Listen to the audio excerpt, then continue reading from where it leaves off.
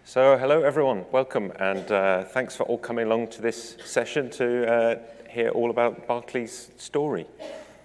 So, a great man once said, context is king, and that's really why I'm here today, just to give you a little bit of context before this, uh, before this session. So my name's Rob Charlton, I'm a solutions architect with AWS, and uh, I've had the privilege of working with Barclays over the last couple of years on their journey to the cloud. So who are Barclays? If you don't know, Barclays are a British bank. They're what's called a universal bank, which means they have operations in investment banking, corporate banking, retail banking, cards and payments, wealth management, so a very broad operation. They're also what's known as a systemically important financial services institution. And what that means is that's a small group of companies whose scale, size of operations, global reach, complexity means that they form a fundamental part of the globe's financial institutions. So Barclays uh, has about 80,000 employees, got about 25,000 extremely good-looking tech employees as well. They have operations in over 50 countries. They can trace their history back more than uh, to 329 years. So think about that for a second, the amount of events that that company has seen in its history since it started in 1690. It's quite incredible. So an organization of that size and scale deciding to move any part of its operations to AWS represents a profound choice. This is a, and we recognize that. It's quite humbling, really, that they should choose to do that into AWS. But it's not quite as simple as just picking up a payment system and then dropping that into AWS.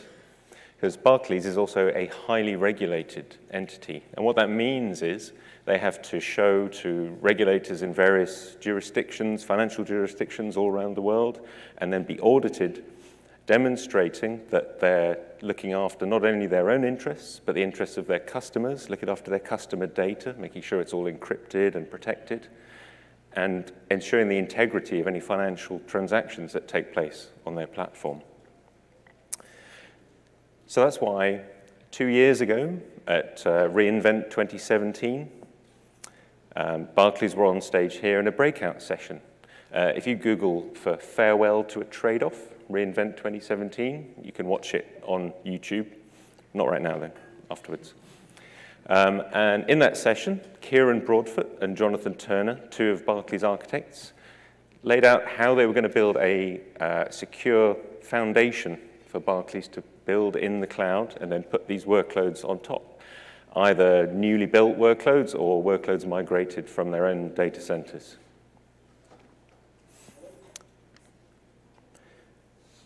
So it's really exciting, I think, today to be able to see the next chapter in that story and to be able to share that with you because now Barclays have built that foundation, they have that in place, and they're starting to be able to exploit this cloud platform that they have and be able to use it to uh, change their business and really take advantage of the strengths of the AWS cloud. So with that, I'm really delighted to be able to share this session with you today with one of those workloads. This is the Research Data Science platform. So please give a nice warm welcome to Bill McQueenie and Wojciech Kral from Barclays, who'll tell you their story.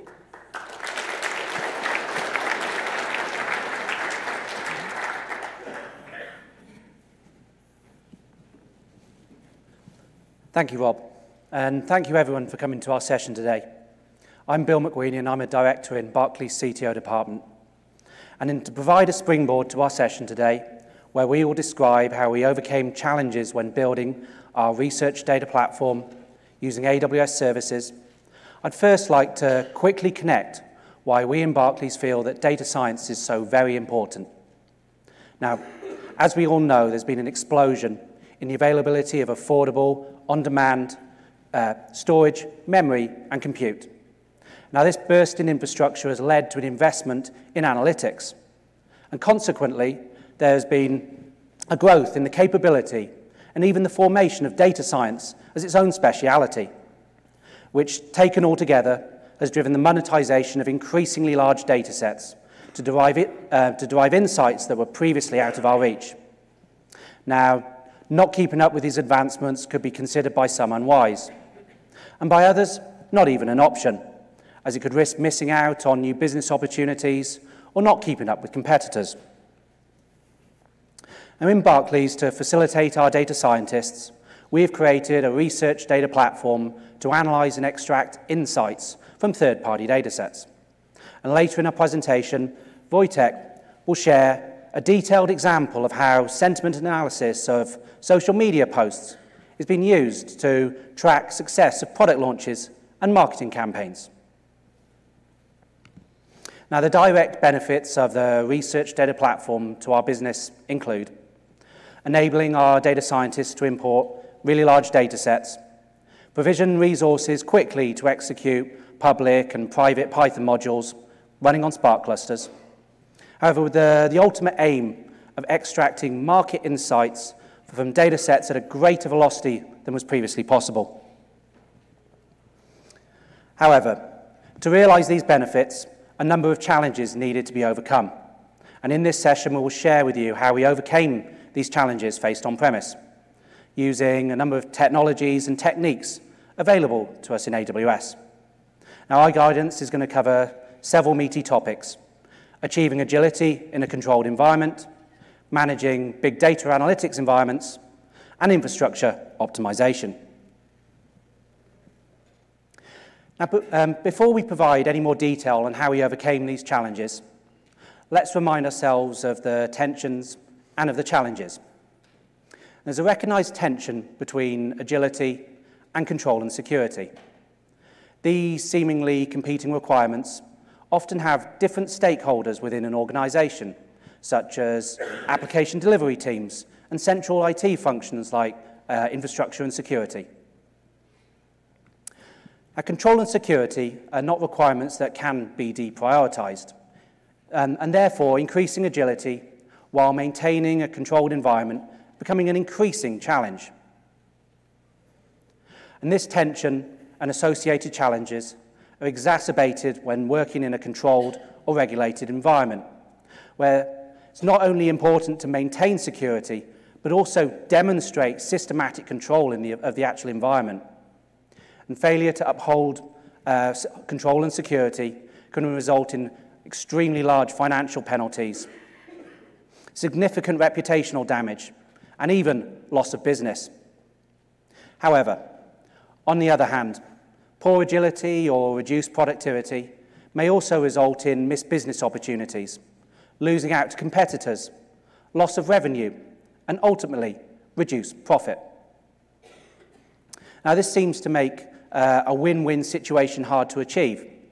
However, we in Barclays have found that by adopting AWS we've managed to improve agility whilst actually maintaining or even improving security.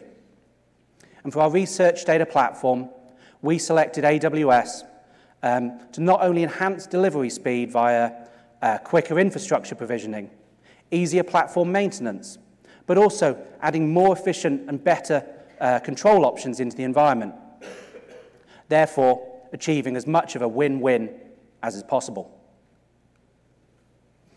Therefore, what follows is a brief description of four specific challenges, familiar to those working with this tension, and the solutions we found to overcome these challenges, including architectural changes, changes to permissions, and changes to human systems. We'll also provide our insights, learnings, and tips for the top when attempting to increase agility while maintaining or even improving security and control in this regulated environment. And now I'm going to hand over to Wojtek, who will provide more context. Thank you, Bill. Hello, everyone. My name is Wojtek Kral, and I'm a research data science platform engineer in research IT in Barclays. And before we dive deeper into the challenges and actual solutions to them, I would like to introduce you to a little bit more of a context of which business these challenges were solved for. Research business. Research business is the department that delivers differentiated market insights, actionable ideas, and research across asset classes. And this is delivered through publications global conferences, one-to-one -one analyst time, and premier events. And as you may correctly assume, data has always been important to our business. And historically, it's been mostly traditional financial data sets. Example of these are, for example, stock prices or corporate fundamentals such as revenues or earnings. And about two years ago, research business started investigating more closely the use of alternative data sets. And they created teams to use sophisticated data science. And this initiative is to deliver differentiated market insights, combining traditional research, alternative data sets, and data science.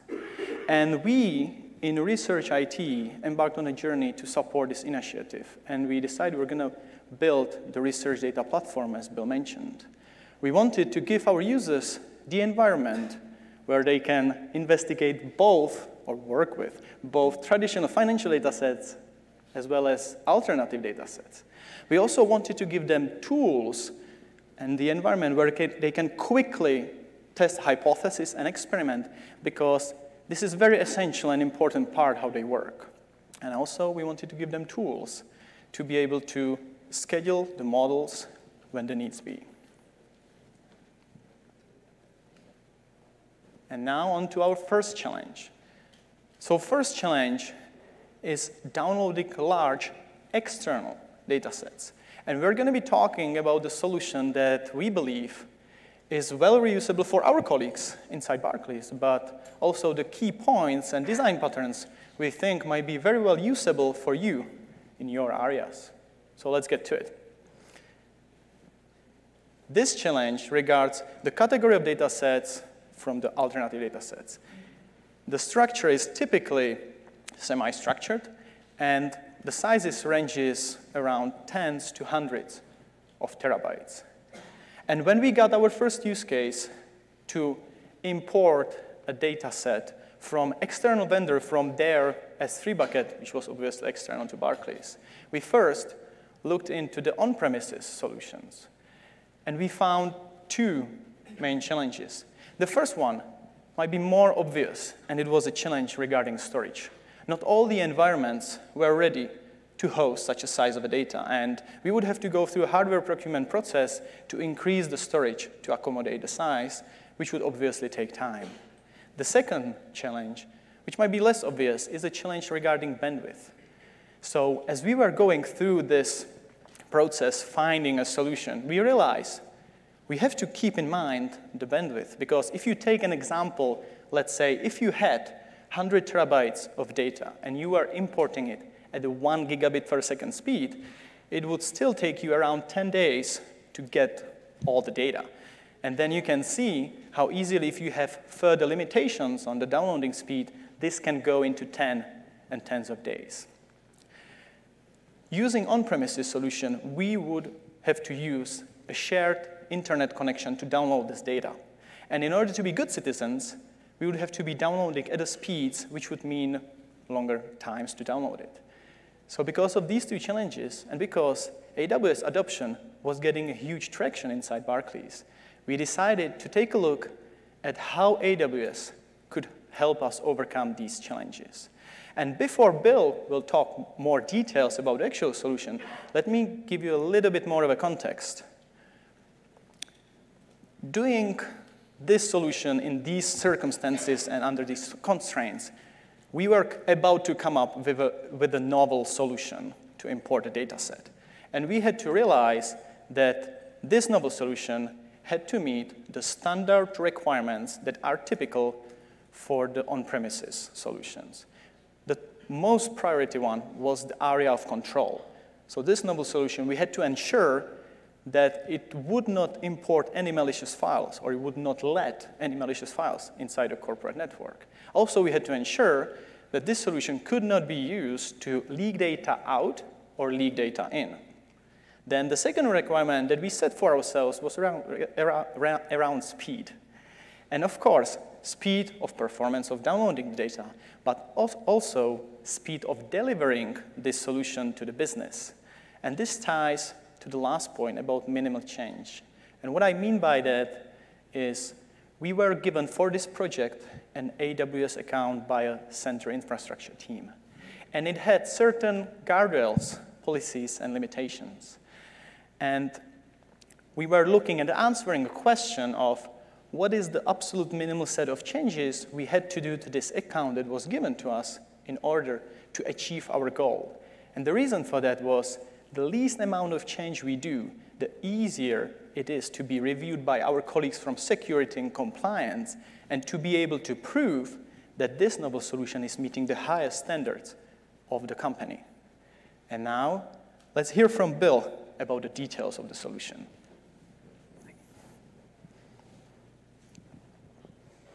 Okay, so before walking us through the actual solution, I'm just going to provide a, a little bit more background.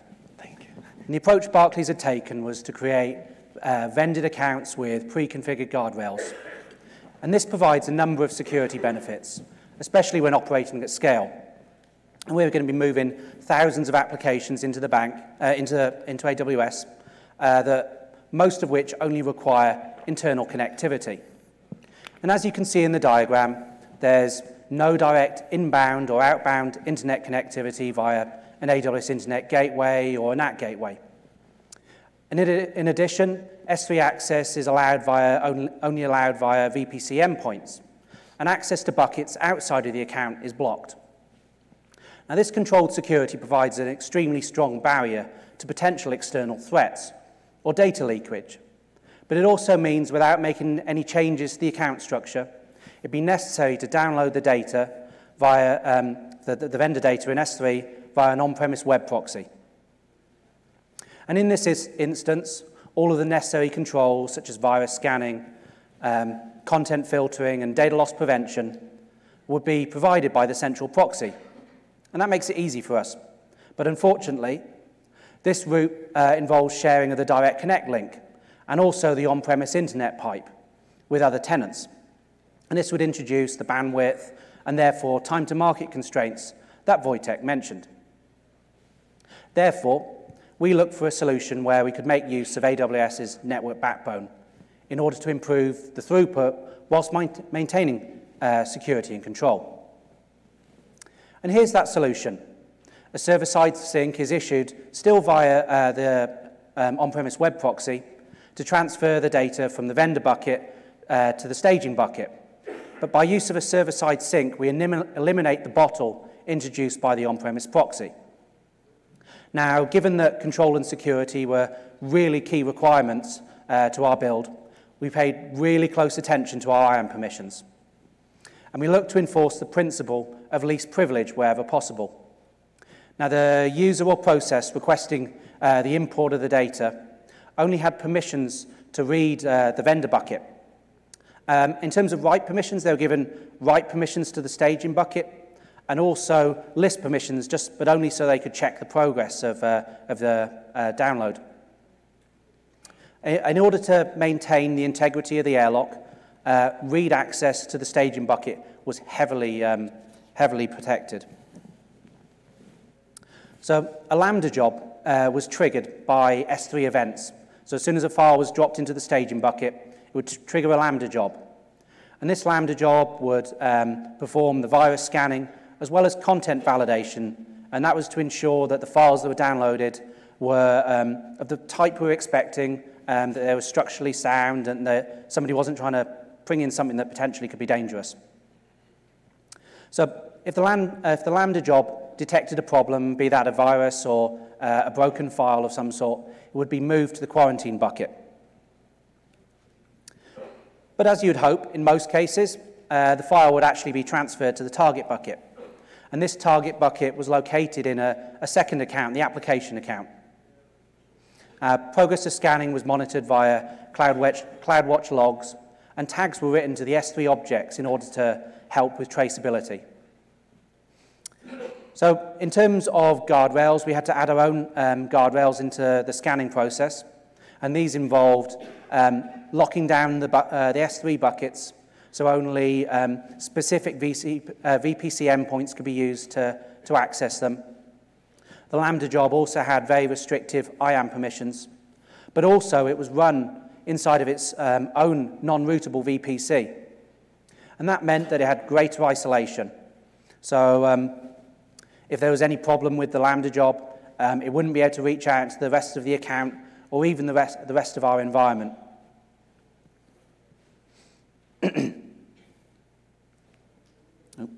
sorry, come back.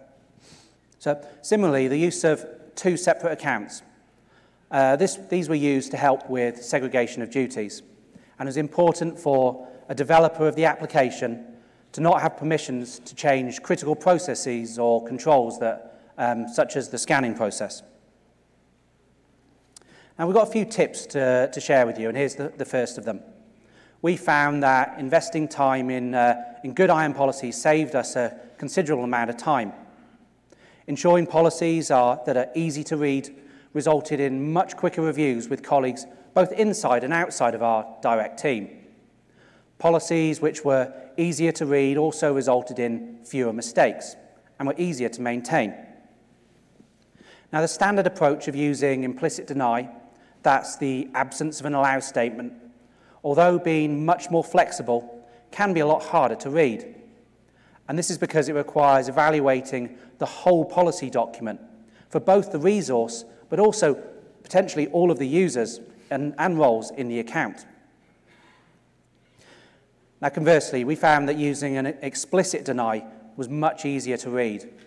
Here we denied access not only to restrict unwanted access, but also just to restrict unnecessary access. And this meant that the policies were much easier to decipher and, and much easier to review. And this is because we could define the maximum scope in only a subset of a single policy. And given, given that that was on the re, a resource policy, we'd also know where to look for it.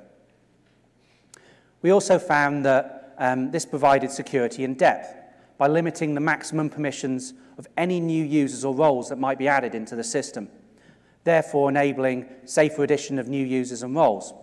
And this safety net would, could be particularly useful in the future uh, when the original project team are not around. Here's another tip that we'd like to share. In order to prove security and readability, we wanted to explicitly use, uh, we wanted to use explicit deny, as I just mentioned. And for this to work, we had to deny access to all principals, apart from those which should have access. However, the use of assumed roles and identity federation, which we use in our environment, meant that we couldn't make use of a not principal condition, which would be your, your normal go-to uh, go-to condition. And this because it doesn't uh, make use of, uh, doesn't allow you to use wildcards. So that um, snippet on the screen is, is not something that's possible. However, we found a solution in a, an AWS blog. And this, we found, um, uses a, a string comparison method to achieve the, the requirement that we needed. Now, when we set out um, on this project, was a little bit difficult to find this blog post.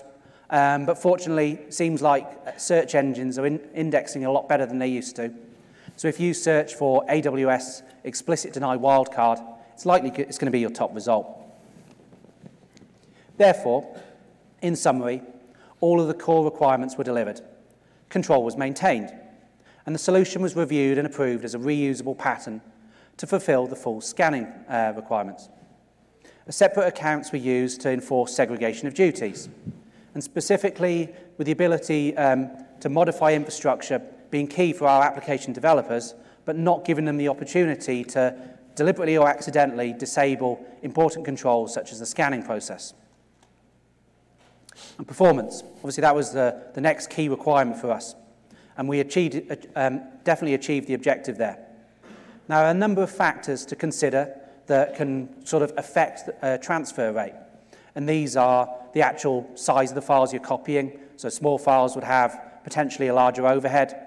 Um, also, warm up and warm down times in terms of S3 transfers. Because we were transferring many, many files um, in parallel, uh, our total number of files we're transferring was in the millions. Um, so that, that needs to be considered. And then also the, the length of time for the ex execution of your, your Lambda job, um, as this is performing scanning and, um, and and content um, checking. Now, onto the actual speed we achieved we managed to get a full end-to-end -end transfer rate of 3 gigabytes a second. But it, and that's actually 25 gigabits a second. Now, if we just put that into perspective, if you were to download 100 terabytes at 100 megabits, okay, it's not super fast by today's standard, that would take you 100 days of constant elapsed time. And if we were to improve that to 1 gigabit a second, you're still looking at 10 days. But via this process, we're able to bring that down to 10 hours. And of course, via this method, um, because we weren't making use of the on-premise internet pipe or even the direct connect link, uh, we wouldn't be taking up uh, valuable bandwidth um, to the detriment um, of our other users. Also, we found that we think it's probably possible to tune this to go faster. We haven't faced a need to do so. And on to minimal change. Use of an additional account for the airlock scanning process meant we um, could implement the uh, additional control, relax some controls and add other additional controls into the, the scanning account. And because no people were really given access to this account, there's, there's more we could do there. And in the, the existing application account, it was possible to change very few controls. And this meant that reviewing them and getting approval was much, much easier. Um, also, uh, it took us a lot less time to develop this solution than um, probably would have done if we tried to download the data at a reduced rate.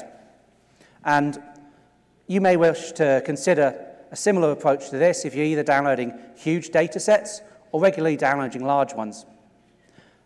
And although we had um, a reasonable time saving along this project, probably the most important thing was the things that we actually learned. It was in, um, we developed our understanding of the control environment um, and new ways of working, and this was, has been invaluable to us and has actually helped us um, accelerate other projects. And we feel if we were to repeat an, uh, another exercise, something similar to this, those time savings would be quite considerable. And that leads on, uh, leads on to our lessons learned section.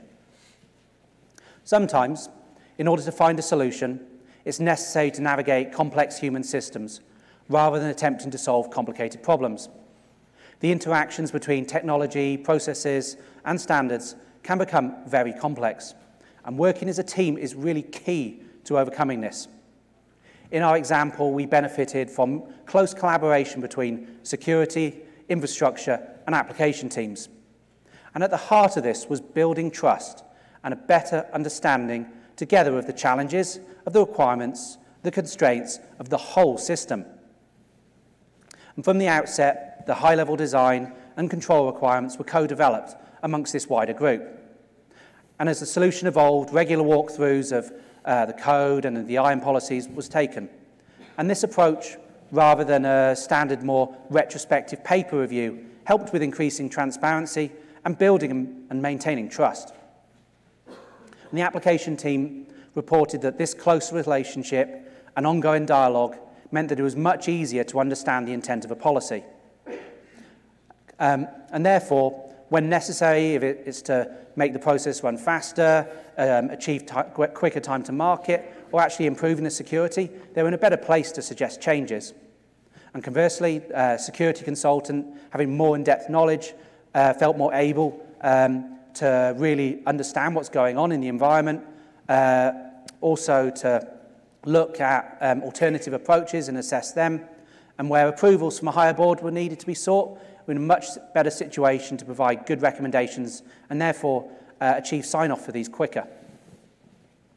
In addition, um, the, as the project continued, security consultants began expressing their controls in a way that was easier for application, uh, uh, delivery team and developers to turn that into code and policies. Um, also, the developers, by um, this close relationship, started actually expressing their code and policies in a way that was better at actually demonstrating the control and therefore could um, be reviewed a lot easier. And as an extension of this, um, we'd recommend that you consider using explicit deny, particularly within your resource policies. And this is because um, it not only improves security and robustness to change, for example, build, um, adding users and roles later down the line, but it also saved time in security reviews and helped build additional confidence in the solution. So moving on to our se second challenge. We're going to talk, uh, what we're going to talk about now revolves around traditional data sets and optimizing our use of infrastructure. Now, the research team have an existing vendor application which provides traditional financial uh, data repositories, uh, including time series data. And these data sets are typically in the single terabyte range. Uh, and our business had a requirement to expand this data set by subscribing to additional attributes and, and additional dimensions. Now, unfortunately, our on-premise environment wasn't ready to take on this extra data, and it, um, to provision that extra storage would have uh, let, taken time that we didn't have in the project. In addition, the existing server was old, so the storage increase would require um, a new server and a platform upgrade in order to keep up with our technical debt. Uh, the solution we, uh, we took was to migrate existing on-premise database into Amazon's Relational Database Service, RDS. And the outcome of this was that the project was delivered in a quicker time than would have been possible on-premise. However, the, obviously the lasting benefit of this was by adopting RDS, we were decoupling the compute, the storage, and the database platform. And therefore, future upgrades, be that to the infrastructure or to the, even the database software itself, would be a much simpler task. Also, it's possible to maintain a, a much lower storage headroom for natural growth because additional storage can be added so quickly. And of course, the same would be applicable to uh, compute or memory upgrades. Now, one of our key lessons from this challenge um, was that there's a lot to be learned from a lift and shift migration. We had a faster time to market, um, but also um, the on, ongoing maintenance of the platform would be much improved. However, although the migration to RDS was an extremely, extremely valuable one, it didn't come without its own specific challenges. So even though we didn't change the underlying database engine, there were a number of application con uh, configuration and script changes to, that were required. And being a vendor application, there's not always the opportunity to make these changes um, so, or so easily. An example of the things we had to change was uh, the, the bulk import process for pulling data into the database. And for this application, it was only practical to migrate the database first and leave the clients on premise. Uh, many of these being data science, uh, data scientists who were accessing the repository from their workstation. Now, this hybrid, uh, this hybrid hosting approach introduced greater complexity into the environment and therefore additional work. Uh, for example, because we're not in a situa- uh, position to integrate Active Directory into the database, this meant we had to integrate secrets management and account, um, uh, account management for, for the database accounts into on-premise controls such as logical access management and associated recertification processes. This challenge was huge and should not be underestimated. Therefore, it's worth considering migrating all tiers of your application at once. Retrofitting security controls into the on-premise environment can sometimes take longer than actually moving those same components into AWS and using more native controls. And now I'm going to hand over to Wojtek for our next example. Thank you, Bill. Now, let's take a look at our third challenge. The third challenge is based on the key requirement I was already mentioning before, and this is the need of our business to be able to quickly test hypothesis and experiment. So we wanted to give them the compute environment which would support this flexibility as high as possible. So in a sense, what we were about to give them was the tooling for big data analysis. And I believe many of you, when I say big data analysis on AWS, would start thinking about Amazon Elastic MapReduce, possibly. And this is our target as well. But because, as I mentioned previously, we had certain guardrails in our account, the EM, Amazon EMR was not avail available to us to be used yet. But we didn't want to wait for Amazon EMR to be available. We wanted to look at what we can deliver immediately to our business so that they can start driving client added value. And after discussing with our business, we decided we're going to build for them the custom Spark cluster with Jupyter Notebook. What I mean here by custom, custom means we're going to run it on EC2s configure it and manage it ourselves. And for people who might not know what Spark is, it is an engine for distributed data analysis. And Jupyter Notebook is the web browser-based environment where data scientists can go and they can write their code, run it, test it, and also interact with Spark. So we were looking at, okay, let's deliver this immediately, but we wanted to also to keep in our mind the fact we want to migrate to Amazon EMR later on. And a little bit more about the flexibility aspect. We decided we're going to aim for single tenant cluster in order to support to the flexibility I was talking about, because we wanted to provide to our users the flexibility both in terms of the hardware that they can say how much CPU or how much RAM they want for their cluster.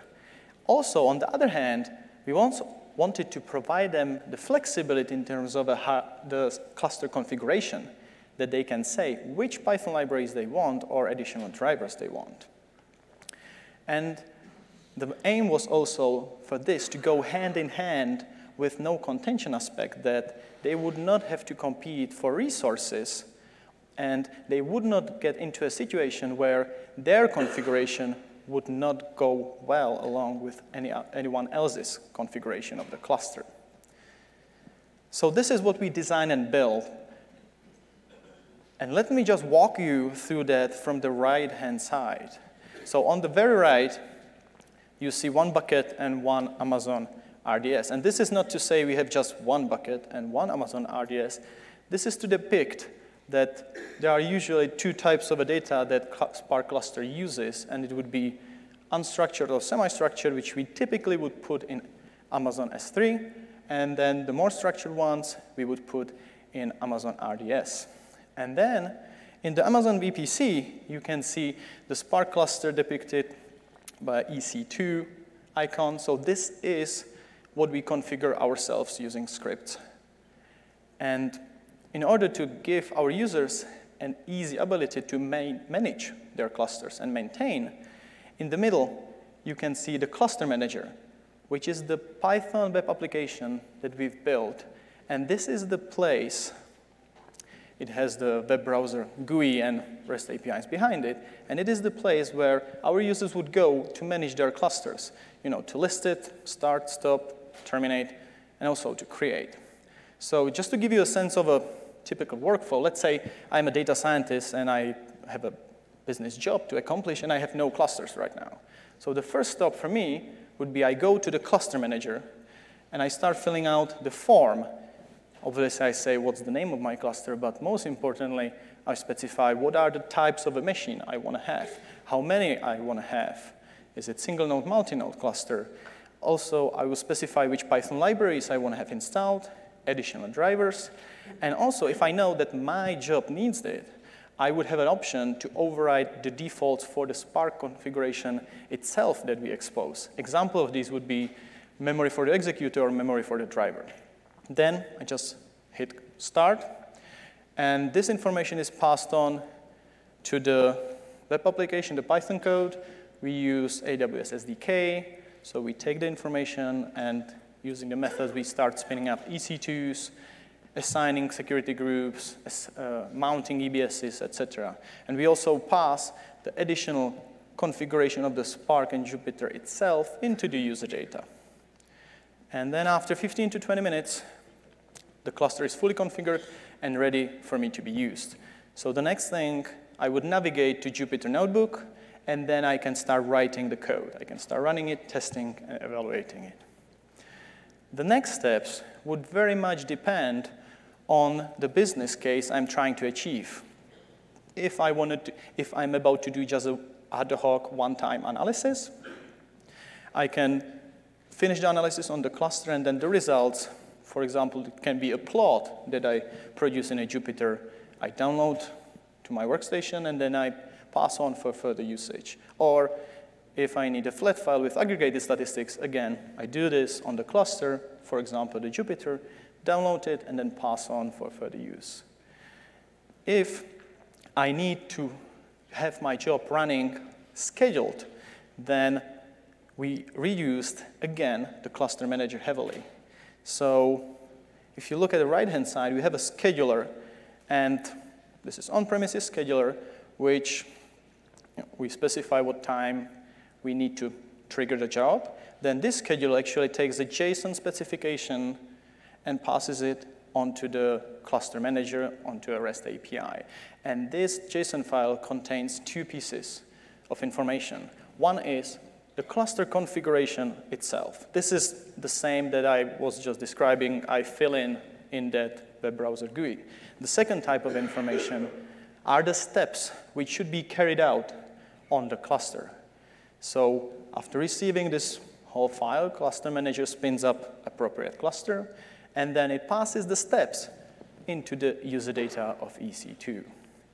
Next thing we added is on EC2 itself, we have a custom steps interpreter. So what it does, it pulls down the steps from the user data and it starts going step by step, carrying them out. And we are very flexible on this front, but you can imagine it, it can be as simple as saying download a script from a central repository, submit it as a Spark job, and after you are done, terminate the cluster. The next thing I was talking about, we want to keep the migration to EMR in our heads. And we believe that actually doing this design, we sort of brace ourselves for that. So we envision that when we are migrating to Amazon EMR, we're going to be mostly changing the guts of the cluster manager itself. And if you think about it, we already have most, if not all the information being passed on to the cluster manager that we would need to spin up Amazon EMR. So we would just, using Amazon as, AWS SDK, use different methods. Instead of spinning up EC2s, we would be spinning up EMR. We would probably need to re uh, reformat the information or the JSON so that Amazon EMR understands. But regarding co the content, the migration should be very smooth and also shield our users from any interruptions. So actually doing this, what we managed to achieve, we were able to deliver the solution to our business, the custom Spark build, in a very timely manner. And they are already using it to do their job. We also seen great examples of Elasticsearch and I completely loved this anecdote. Once I was sitting behind my desk, and I got a call from our data scientist, and he was asking me, hey, Wojtek, is it technically possible I would need to spin up 50, 24 extra large machines for just a couple hours because I have some historical data that I need to process just one time.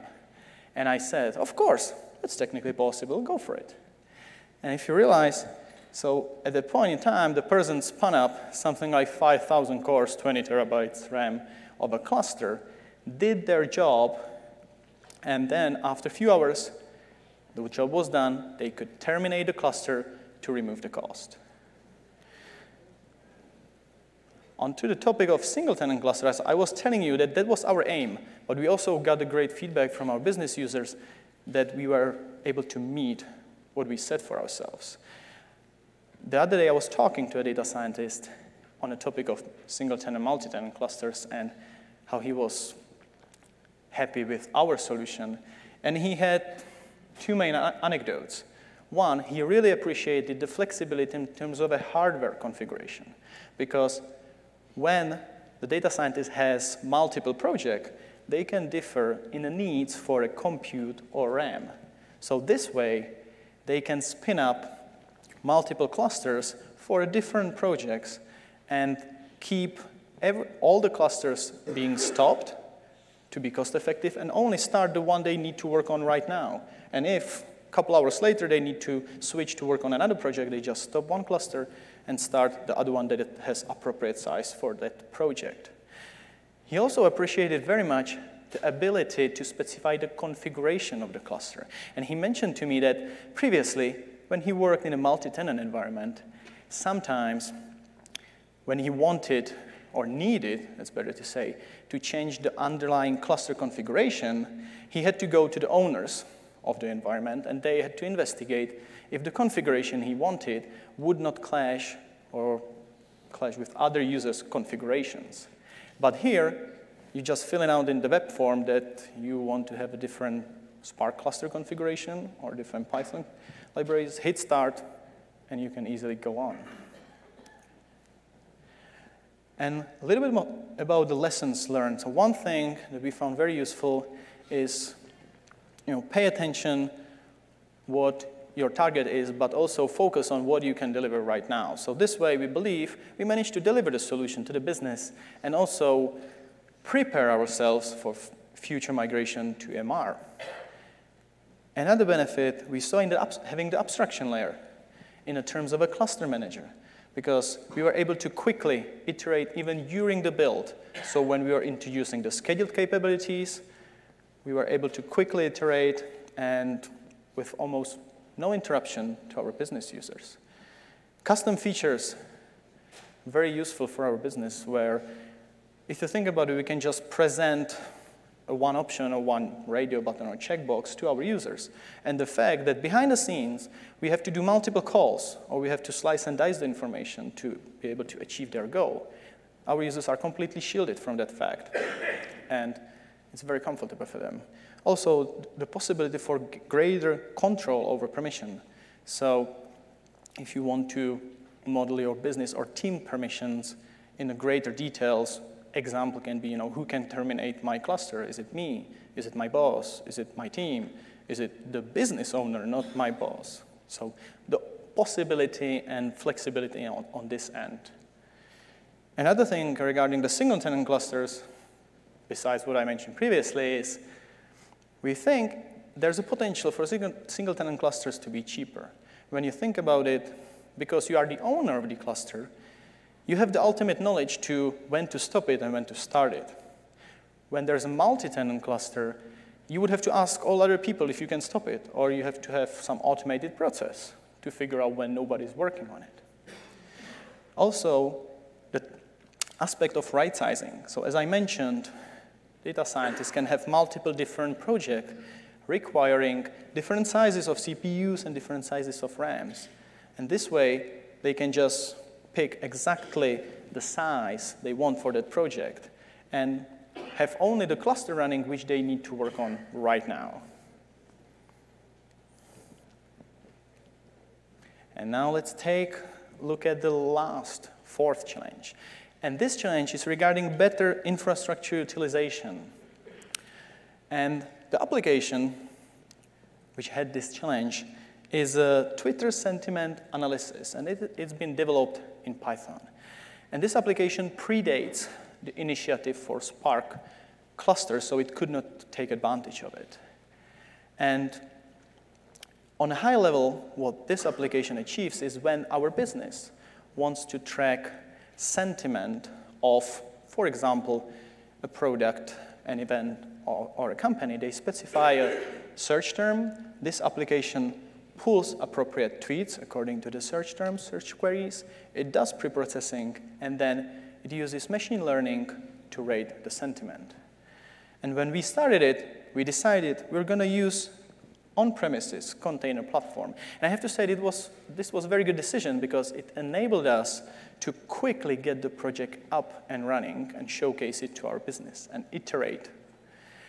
And for storage, we chose NoSQL. As the application became more and more popular with our business and they wanted to track more and more search queries, we started running into two challenges. One was that although the container platform was perfect for getting project up and running, it was sort of a highly dense and consolidated multi-tenant environment.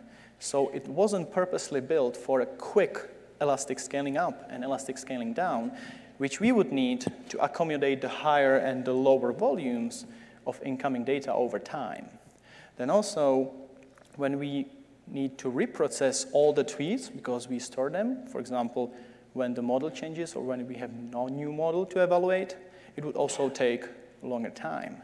So we decided to migrate this application to AWS as well. And we picked AWS ECS. And I have to say, this migration was very smooth because we migrated from one container platform onto the other.